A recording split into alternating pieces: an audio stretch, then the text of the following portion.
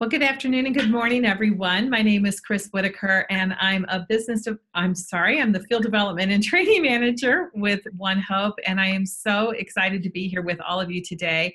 We have a great tips from the top scheduled for you. Um, one of our um, senior executive directors from Philadelphia, Laura Demetriou, is going to share what she's doing right now in her team that's creating explosive growth really quick, I just want to share with you that um, when it comes to recruiting and building your teams and really growing your business, a lot of times everybody thinks that it's going to take a lot of um, skill building, and there's some sort of secret that um, is going to help you build, um, or something that maybe you don't know, or maybe you feel like you're not ready to do it, especially if you're a new CEO. But I'm here to tell you that it's really just about being yourself it's about having fun in the business, believing in your opportunity, and and talking to people and and sharing this with people because we're an impact company and we want to continue to make an impact. And for that reason, we want to add people to our team so that we can help spread what we are doing, all the good that we're doing here at One Hope. So that's really what recruiting is all about. And so I had the pleasure back in February, I believe it was my second day with uh, with One Hope, and, and I had dinner with Laura Demetriou, and she taught me what she is doing. She shared with me what she's been doing to be able to grow her business. And just so you guys know, uh, she's been with us for what about 18 months, Laura, something like that. And in the 18 months that she's been with us, her team has grown to almost 200 CEOs. And she and her team are very much responsible for a lot of the explosive growth that we have had in the state of the state of um, of Pennsylvania. As you guys are joining, if you could just make sure that you're muted. We are recording this call, and it was so helpful. Okay. Just a moment, please. I'm just going to make sure we have all the lines muted that need to be muted. That's great. So we don't have the background noise. So once again, back to Laura and our dinner, our infamous dinner that we had. She had some amazing things to share with me about how she is growing her team and just how Pennsylvania is growing too. So I invited her to share with all of you today the things that she shared with me. And um, and you know, uh, Laura has a, a, family of I think three kids, three kids, yeah. and a great husband by the name of Mark, who is helping her with her business. He's very much a part of this, not just as a support person, but he likes to do a lot of things with her in the business. And so, Laura, I'm going to turn the call over to you. Congratulations on your success, and we can't wait to hear what you have to share. Thank you so much, Chris, for the warm introduction. I am so happy to be here and have the opportunity to share some tips on the importance of following up with you all. Um, I'm excited to see you all on the call because that means that you're interested and committed to building your team and creating a greater impact with Via One Hope. So, before we begin, let me start with my thoughts on the follow up because really it is so important. It's so much more than just following up. I believe that if you want to be successful with your business, you have to be committed with a few disciplines that all impact our effectiveness in sharing the mission and gaining interest from corporate clients, potential CEOs, and customers. So from now on, when you think of following up, I want you to think of these four topics consistency, personal development, enthusiasm, and the follow up. Some of you may be thinking, what does all of this have to do with following up? I promise that we will get there and it'll be worth your time. I will cover each of these areas and you will see why these four categories all depend on each other and are essential for your success in this business. So let's dive in. Okay, so let's start at the top of the list. As consistency is the key in everything you do with your business. I always joke with my team that consistency is my superpower. I am consistent at being consistent. When I think of consistency, I always think about a huge wheel that has a handle on the side of it. With this business, imagine that you are tasked with turning this wheel that is a thousand pounds. If you start to lift the handle to this giant wheel, what happens if you give it a small push? Then leave it the next day. Not a whole lot. Then, following the day you walk by, you're frustrated from the lack of movement, you give it a kick, and you revisit the next day. Naturally, you're busy over the next few days, so you don't give it a second thought. Then, at the end of the week, you give it one small push. Because let's face it, we're all tired from our days at work and we leave it for another time. So let me ask you Has that wheel turned at all over the course of the week? Absolutely not. What if you focused some consistent effort throughout the day, each day? Would that wheel begin to move? Of course it would. Not only would it begin to move, but once you get that wheel to turn over, the weight of it will help carry it forward, which means it will take less effort on your part to keep it spinning. Once it picks up the pace, it begins to run itself with very little effort, and that wheel just keeps on turning. We like to call this momentum, and momentum is key for your business. Otherwise, you will run out of potentials to follow up with. If you aren't consistent with your business, and reminding your customers that you are still working it, you will fall out of their minds and struggle to keep that wheel moving. So, ride the momentum when you start your business. That's really what I've been doing for the last year and a half. I make this a high priority in my business to ensure I have a constant flow of activity between parties, events, corporate contacts, and potential CEOs. But without consistency, there's little need to follow up because your funnel has dried up. So that brings us to personal development. Unfortunately, being consistent isn't always enough by itself.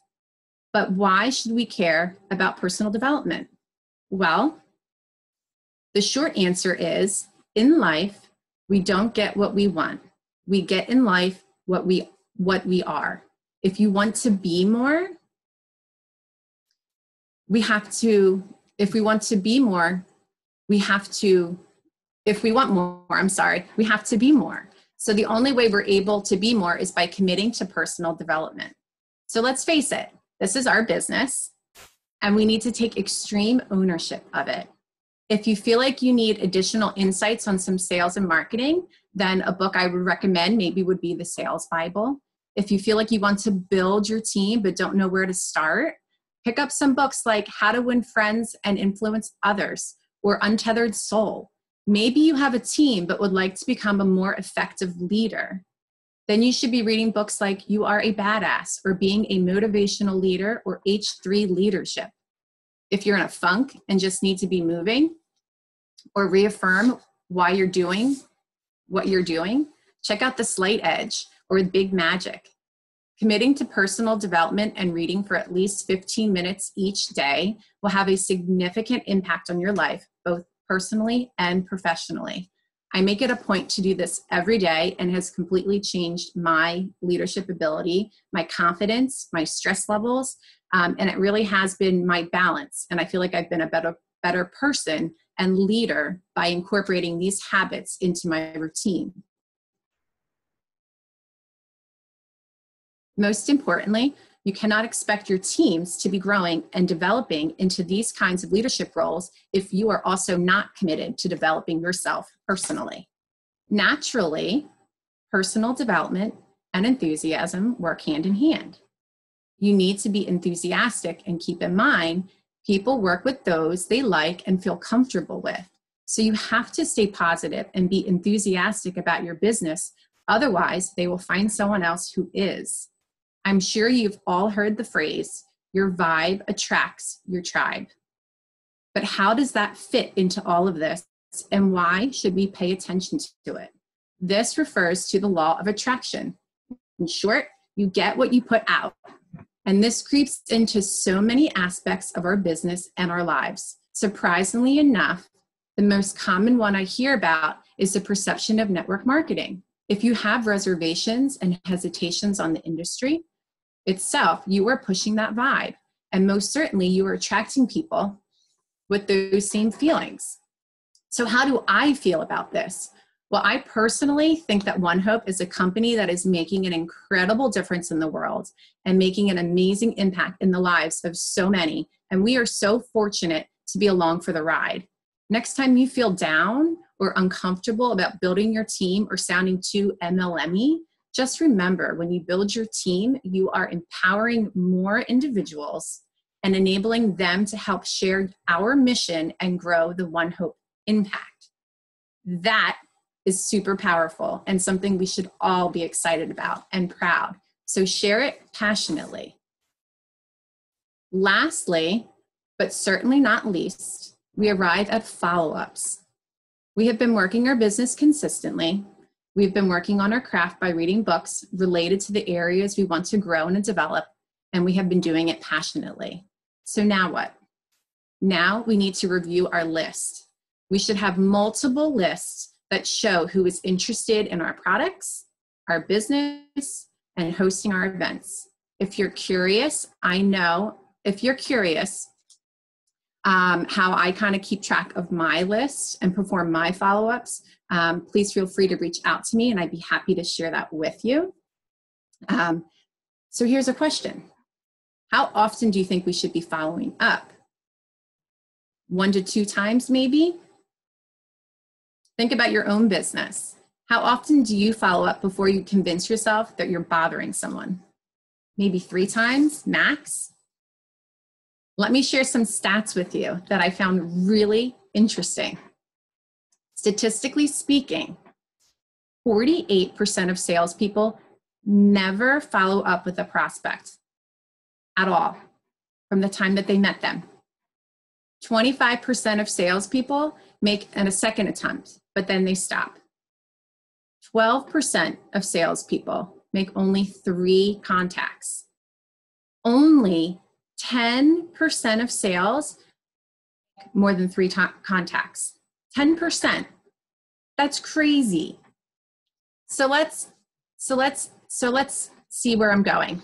This is what I think is interesting. 2% of sales are made on the first contact.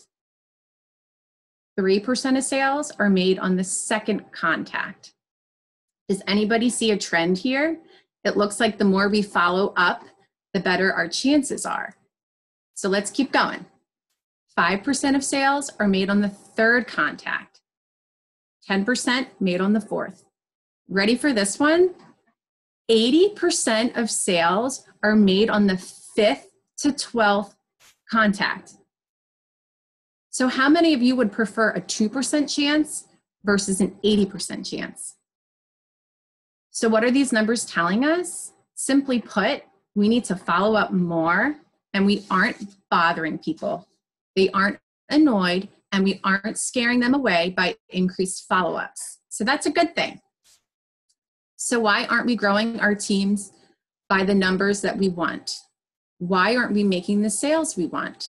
Why don't we have the corporate contacts and client base that we want?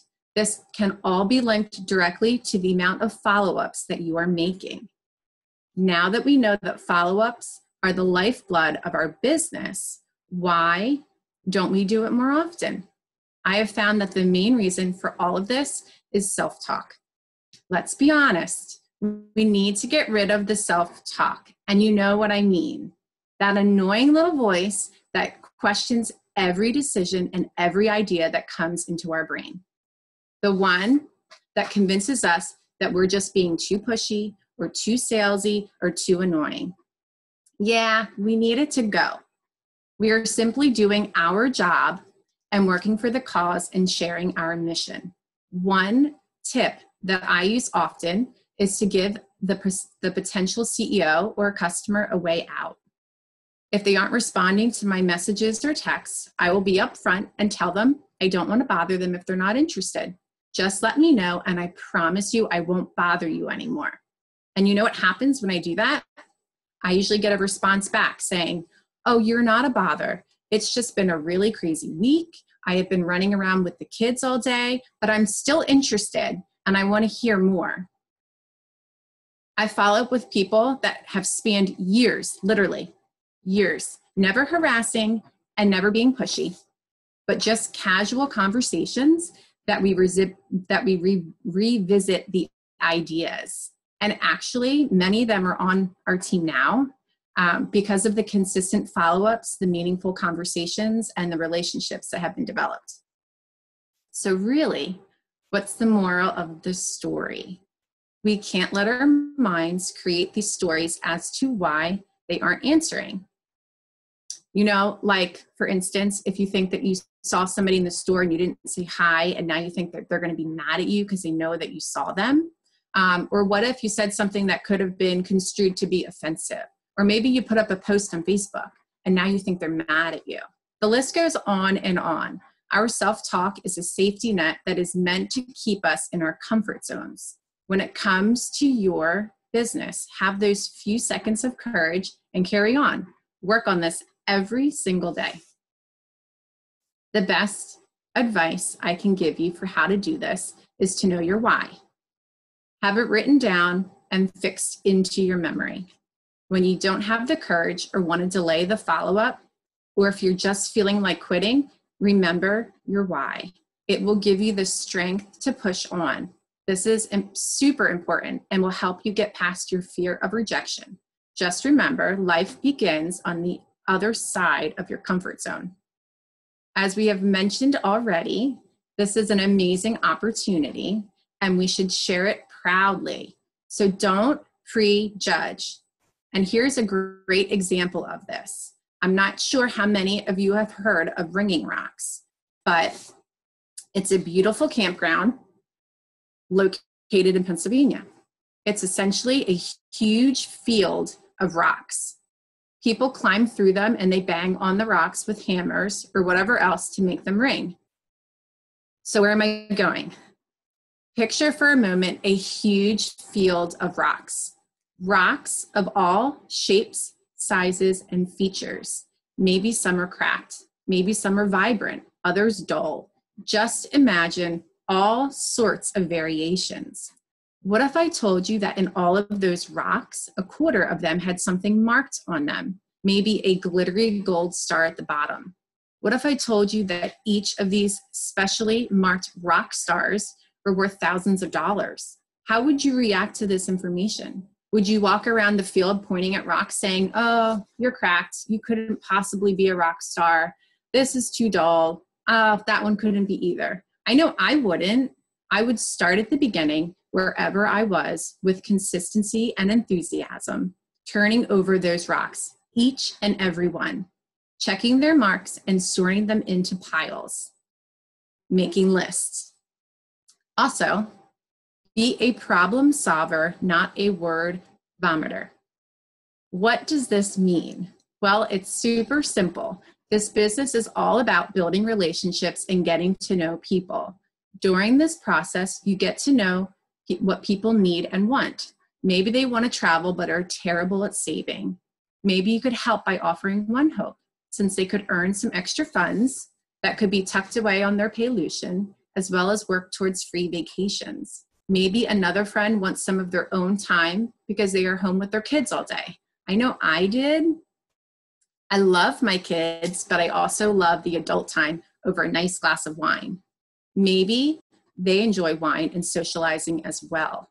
Aim to solve these types of problems. If our One Hope opportunity fits into their lives and can help with their goals, then that's great. If not, that's okay too maybe you can connect connect with them or maybe you can connect them to someone else or another opportunity that might align more to their needs. If they ask you how much does it cost to join? simply answer $99 and wait for the next question. Don't tell them about your amazing founder and leadership team although it is really tempting. Don't tell them that we can earn trips and we can offer corporate gifting don't dive into our impact and our cause partners. A simple $99 will do. Trust in your opportunity and offerings that they will be interested in asking follow up questions and know that you don't have to dump all of the info onto them at once. Also, remember to let them lead the conversation and only answer questions that they have.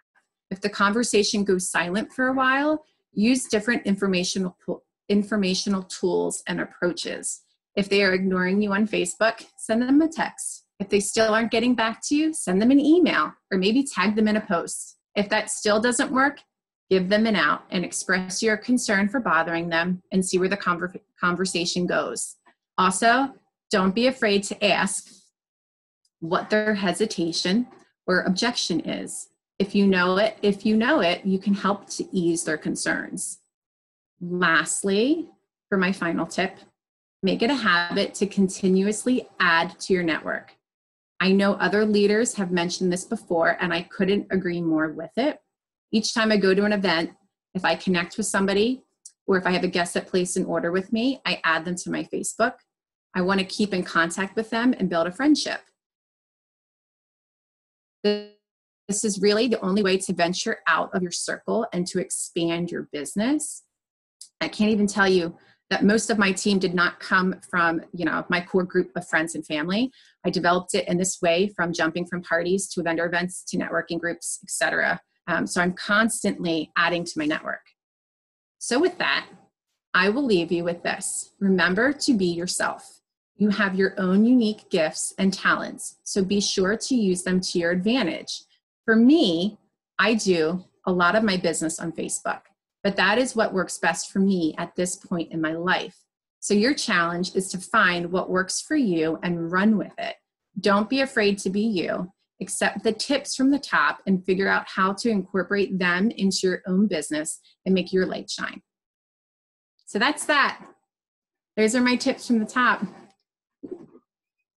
Thank you so much, Chris, for having me.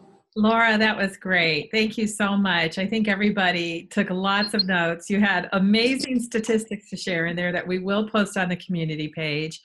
Um, you know what I love about what you are, what you shared is um, it's just what we talked about in the beginning about how important it is to be yourself and to not feel like you have to be someone else or that you have to have a certain technique. It's about um, meeting people where where they are, but also where you are um, it's not about you trying to reinvent um, you know who you are to be able to attract people to you because you talked about the power of the law of attraction which um, is really what it's all about. If you are authentic if you really believe in this and and you um, you know you're sharing this with people you're going to attract the, the right people to the business for the right reasons.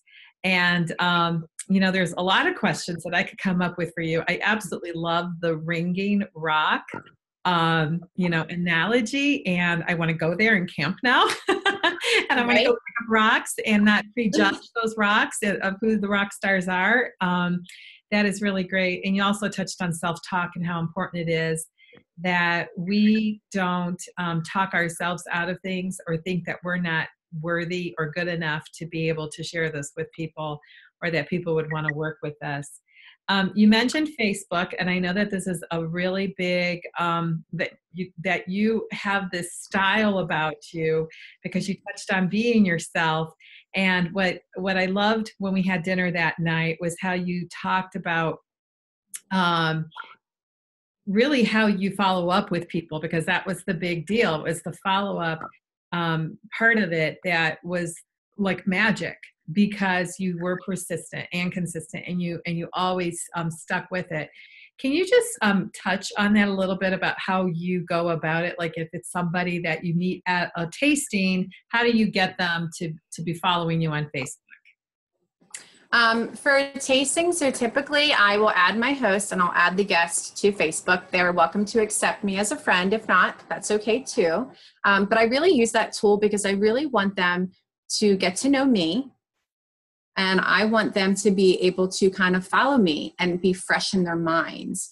So typically I do add them to Facebook and then I kind of regulate my posts. So um, I do I tend to try and maybe do like one post like a one hope post a day and then I, I, kind of just mix in some inspirational quotes that's huge for me i mean i do that personally for myself just to keep me in the right state of mine, but also to share with others if somebody else needs a little pick me up for the day.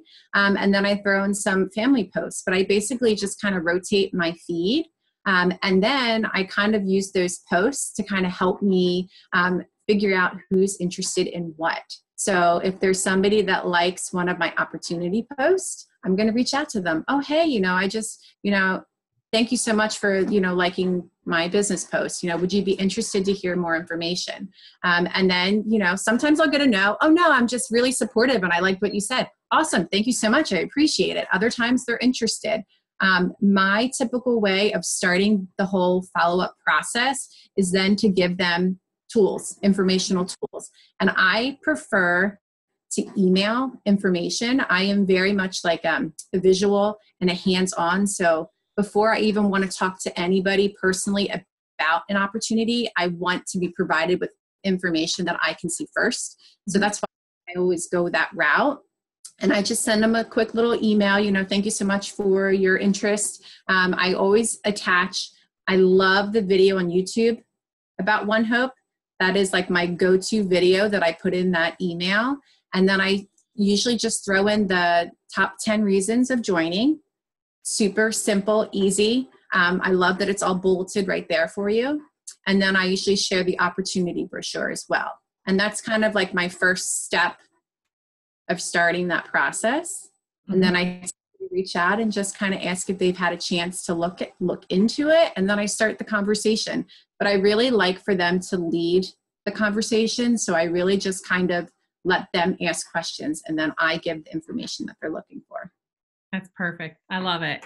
So, um, you know, I I'm just like you where I would want to actually see. I think that the video is powerful. I think both of the videos we have, One Hope and This is a Tree, are both powerful. Yes. Um, for us to be able to share the opportunity and um, and then also the um, um, top 10 reasons of course is great and yeah let them evaluate and and i think that it's always about putting the ball in their court but not doing it in an offensive way doing it very um, you know, very natural. This is, you know, I'm not going to come after you really hard on this. This is something that I truly believe in, and I and I'd love to invite you to it. And you just give them that information.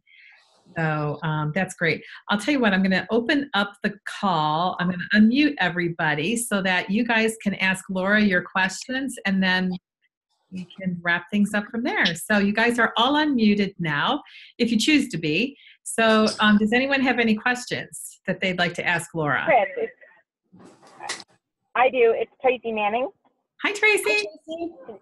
Hi. Oh my God, that was amazing. I couldn't take notes fast enough. I had to pull over on the side of the road. um, will you be recapping the books that you mentioned because I only got, grabbed a few of them and I, that like really spoke to me. So I wanted to make sure that if you could jot that down somewhere. Absolutely. I would love. And to. then I also already I already sent you a private message that I would absolutely love your follow up uh, techniques and processes because that was Aww. really awesome. Like I'm like sitting in my car in my driveway and I'm inspired to just run inside and like get after it. yeah, go, go, go. Thank you, Tracy. Yeah, so thank you. Yeah, thank you, Laura. That's great. Does anyone else have a question for Laura? Questions, comments?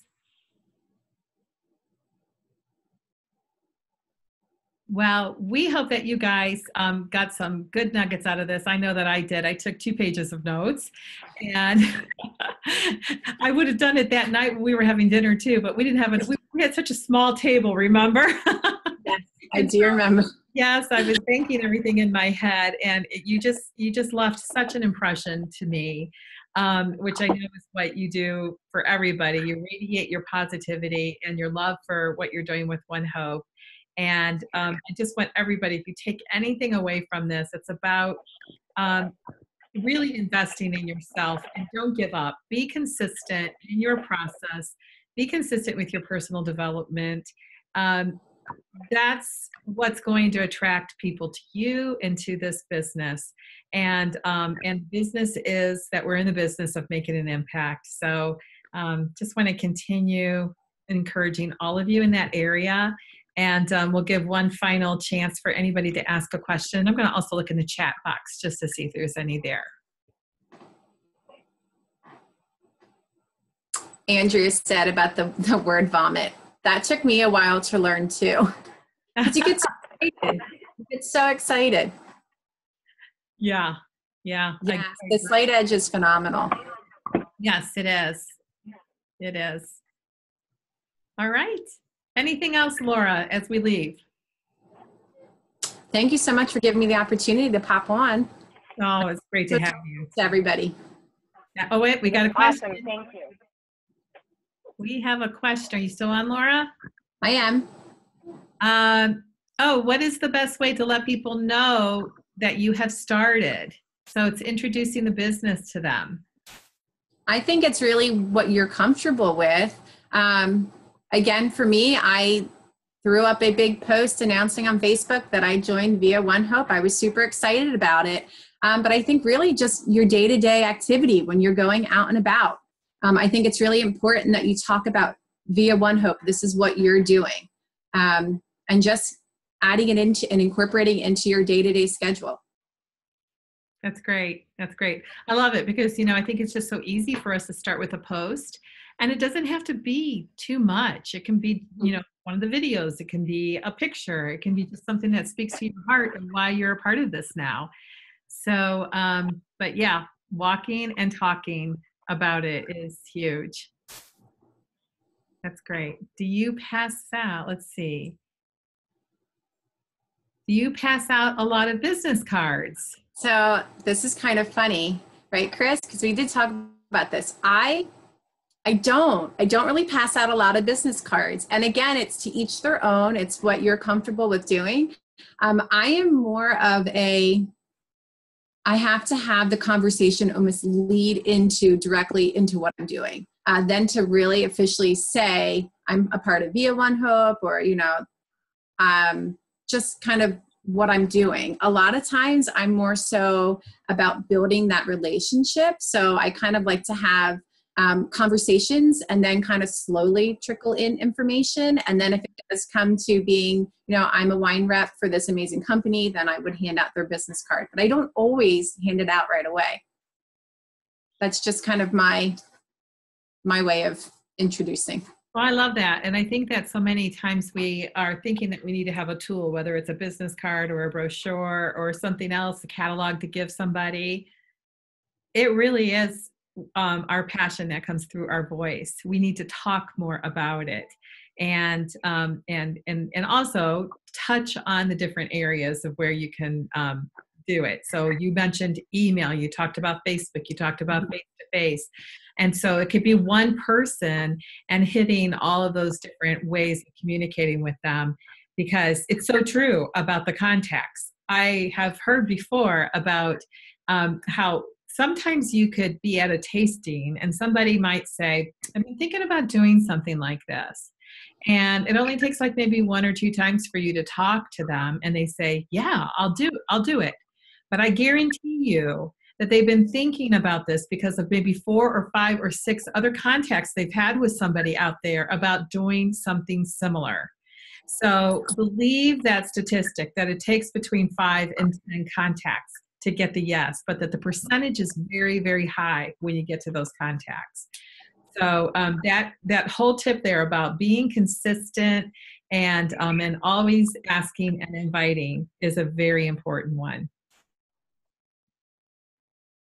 All right.